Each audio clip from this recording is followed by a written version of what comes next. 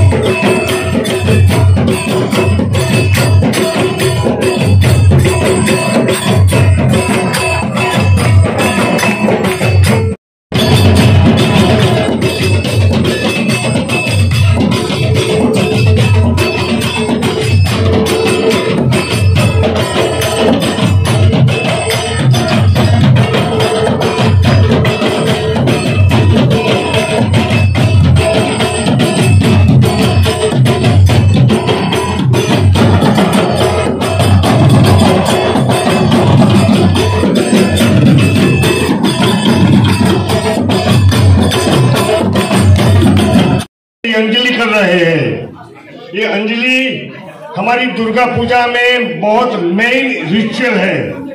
ये माता जी के चरण कमल में हम प्रत्यक्ष माता जी के चरण कमल में हम प्रार्थना कर रहे हैं हम स्तुति कर रहे हैं। यहाँ पे पुष्पांजलि का अर्थ समझा रहे हैं हमें पंडित जी। क्यों किया जाता है उसका मतलब क्या है वो बता रहे हैं क्योंकि पुष्पांजलि संस्कृत में होती है और सबको संस्कृत नहीं आती है।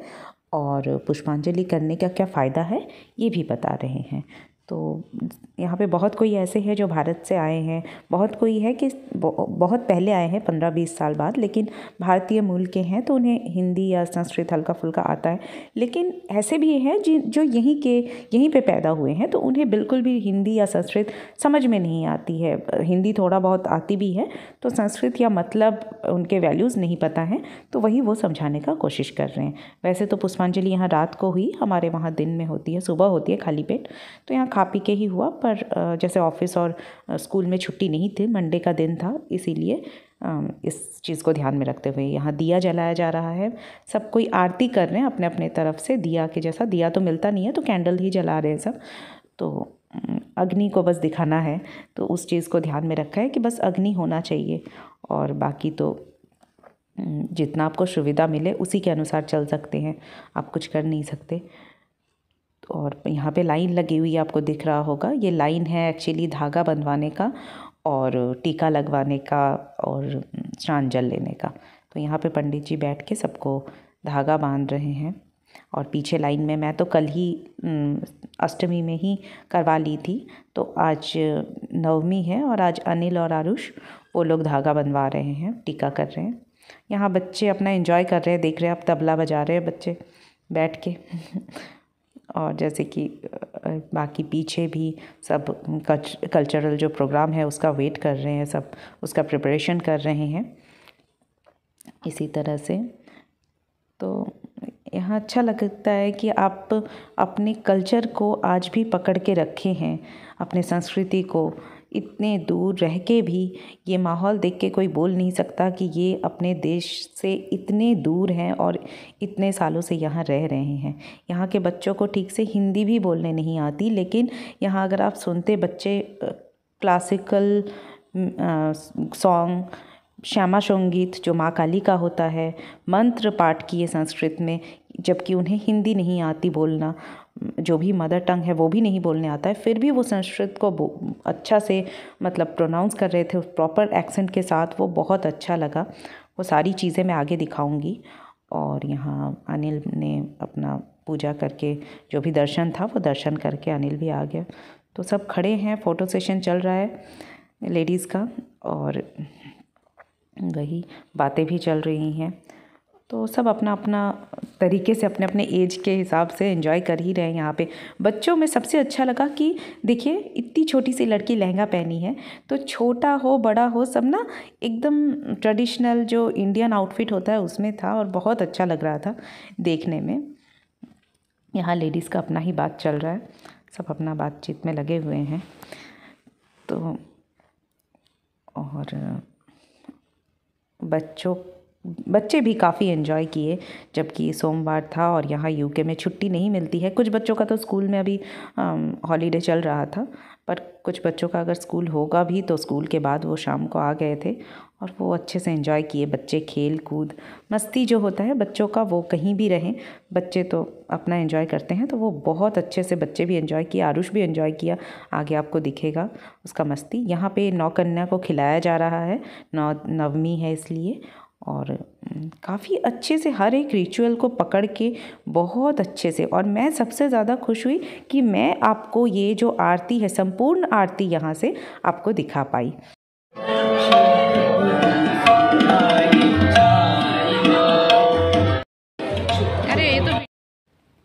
यहाँ पे पंडित जी बैठे हैं और सभी लाइन लगे हुए हैं जो नौ कन्या है, उन्हें नवमी के दिन जो खिलाया जाता है, उन्हें अपना कुछ देने के लिए शायद फ़ोटो लेने के लिए। तो इसके बाद कल्चरल जो प्रोग्राम है वो स्टार्ट होगा और सबसे पहले आरुष शिव तांडव सुनाएगा। आप कमेंट सेक्शन में ज़रूर बताएँ, कैसे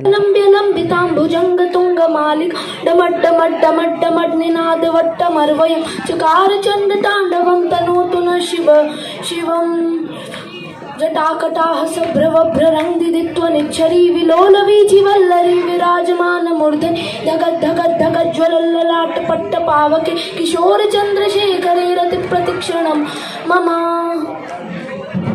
धराधरेन्द्र नन्दिनी विलास बन्धु बन्धुरस्फुरद्दिगन्त सन्तति प्रमोदमान मानसे कृपा कटाक्ष धोरण निरुद्ध रुद्ध नापदि क्वचित् दिगम्बरे मनो विनोद मे तु वस्तुनि जटा भुजंग पिंगल स्फुरत फणामणि प्रभा कदम्ब कुकुमद्रवर लिप्त दिग्वधूमुख मधान्त सिंधुर स्फुरत तगुत्तरीय मेदुर मनो विनोदमद्भुतं बिभर्तु भूत भर्तरी सहस्रलोचन प्रभृत्य शेषलेख शेखर प्रसून धूलि धोरणी विधूसरांगी पीठ भुजंग राजमालया निबंध जाट जूटक श्रिय चिराय जायतां बंधु शेखर ललाट चतुवर ज्वल धनंजय स्फुलिंग भानि पीत पंच सायकं नमन निलिम्प नायक सुधाम खया विराजमान शेखर। महाकपालि संपदे शिरो जटालमस्थुन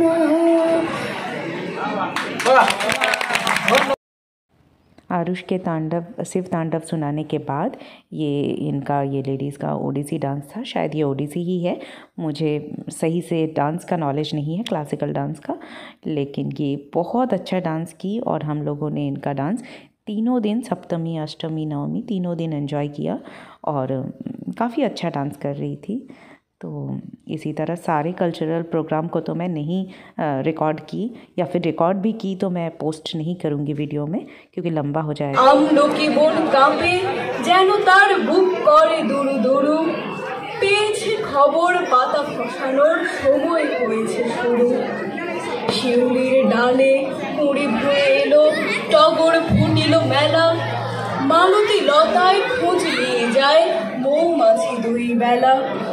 গগনে গগনে বড় শোন, শেষে মেঘেরা পেয়েছে ছাড়া। বাতাসে বাতাসে ফেরে ভেসে ভেসে নাই কোনো কাজে তারা। দেখি ভরা জল, করে ঢল ঢল, নানা ফুল ধারে ধারে। কচি ধান গাছে ক্ষেত ধরে আছে, হাওয়া দোলা দেয় তারে। যেদিকে তাকাই সোনার আলোয়, দেখি যে ছুটির ছবি। পূজার ফুলের বনে ওঠে ওই यहाँ पे एक बहुत प्यारा सा हम आवृत्ति सुने जो बंगाल का, संस्कृति का एक पार्ट है आवृत्ति और उसके बाद कुछ लड़कियाँ गाना गाई और ये एक प्यारी सी, बहुत प्यारी थी ये, एक प्यारी सी लड़की वो डांस कर रही है डोला रे डोला पे और होता है ना, हर एक बच्चे के पीछे जो माँ का एफर्ट होता है, वो कहीं दिखता है, कहीं नहीं, यहाँ साफ़ साफ़ दिख रहा है। ये यहाँ पे वो डांस कर रही है और पीछे से उसे देख देख के कॉपी करके ये कर रही है लड़की और बहुत बहुत प्यारी थी, बहुत प्यारी थी ये बच्ची। तो यहाँ हम लोग मैं दूसरे ग्रुप में आके हम लोग बैठ गए पीछे फ्रंट से। और बड़ी बात है, यहाँ पे गुजराती राजस्थानी, बंगाली, आसामी, उड़िया सब जगह से लोग आए हुए थे और सब बहुत अच्छे से एंजॉय कर रहे